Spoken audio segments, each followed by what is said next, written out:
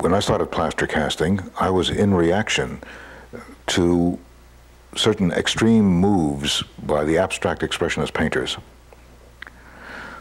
I was schizophrenic about that whole situation, and I loved the idea of being an avant-garde painter.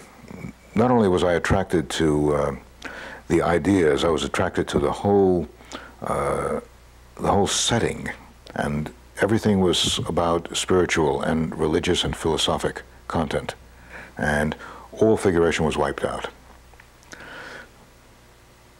Struggling to do my own thinking, I had to, for myself, I had to th throw away painting, which I loved, and I switched medium.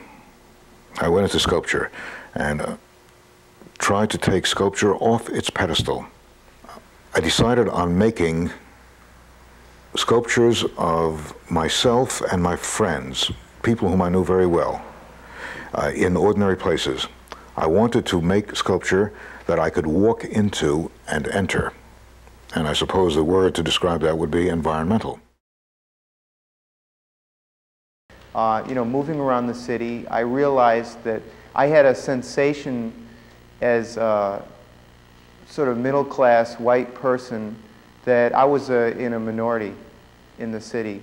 And you know, the circles that I was moving in tended to be riding the subway and out on the street and stuff like that. And it was obvious that that the scene, which was the uh, art scene in, in Soho and stuff, seemed incredibly isolated from the rest of the city.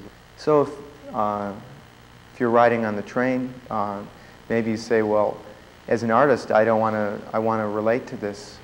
I think it's good for art and it's good for the art world to relate in a, uh, relate to people outside of its own ghetto, art ghetto, so to speak, to, to uh, move out a little bit, to expand its base of operation, you know.